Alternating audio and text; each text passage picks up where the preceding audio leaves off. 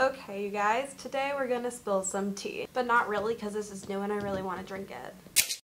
Hi friends, it's Shelby. Welcome back to my channel, Grace with Books. Today I am so excited because I'm going to be giving you guys all of my unpopular bookish opinions. We all have unpopular bookish opinions, whether it's like you didn't like a book that's widely appreciated, you liked one of the Harry Potter movies better than the book, I don't know. You know what they are, it's fine. Today I have written down some of my unpopular bookish opinions and I'm going to share them with you. I am all ready. I have my tea with my little sloth diffuser. Look how cute he is.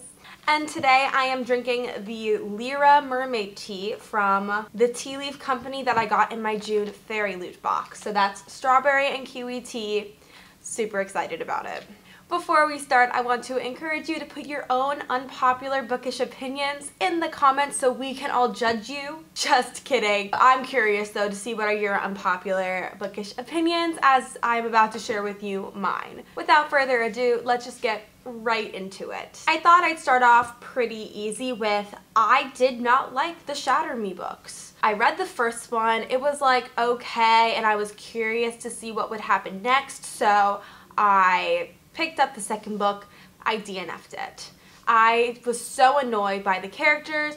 Like, I feel like they had just taken such a turn from the last book. I put the story down and then about a month ago I decided to try it again and I couldn't even make it through the first book again. So I thought the characters were one-dimensional. I thought it just wasn't the story for me. I didn't think I liked how it was written and I didn't like personality change in some of the characters. So did not like those books at all.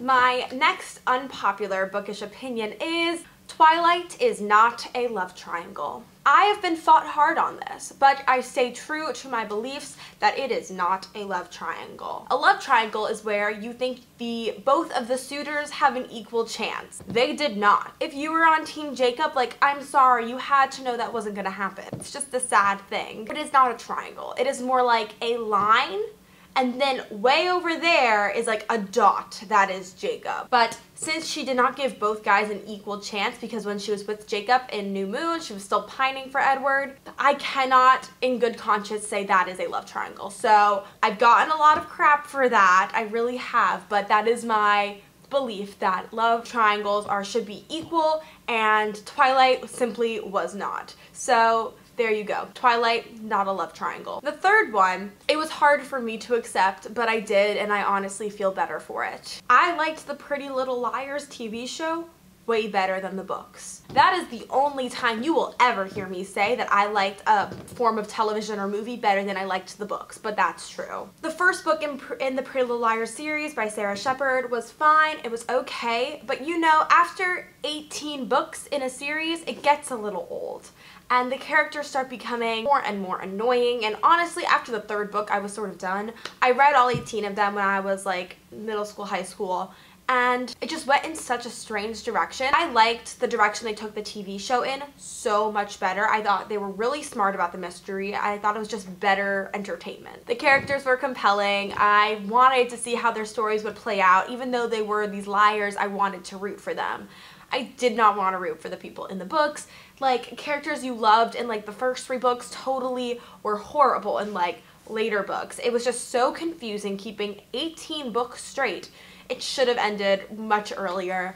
I just got so tired of the books, but the TV show constantly kept my interest, therefore making it probably one of my favorite things. And there you have it, just that I preferred the Pretty Little Liars TV show over the books. And I did really try, I really did try. My fourth unpopular opinion, I'm not really sure is like a totally unpopular opinion because I've met people who think the same as me, but there's a lot of people out there who think the opposite.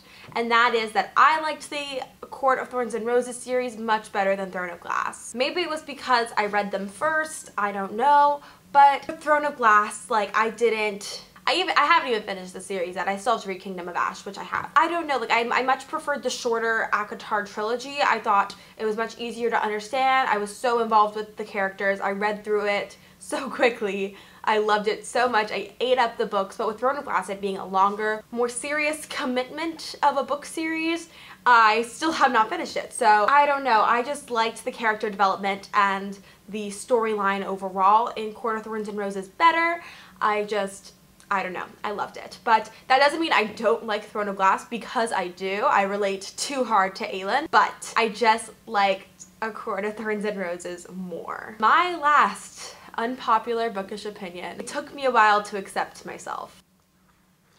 I tried to convince myself otherwise for the longest time, but in the end, I knew. I preferred paperbacks over hardbacks. I know, it's crazy, it's crazy. Yes, hardbacks are beautiful. Yes, they're gorgeous to look at and it's fun to see their stuff inside the sleeve but I find them so much more difficult to read. I hate having to take off the sleeve and put it back on every time because it gets in the way when I'm reading. I much prefer just being able to open up a paperback and honestly, they're cheaper. I have more of them because you know, less money. So overall, I just so much prefer paperbacks to hardbacks, and I really tried to like say like, nope, I like hardbacks, Shelby. Hardbacks are, they're pretty and they're nice and a lot of people like them. But that's just not me, and I prefer paperbacks. And those are my five unpopular bookish opinions.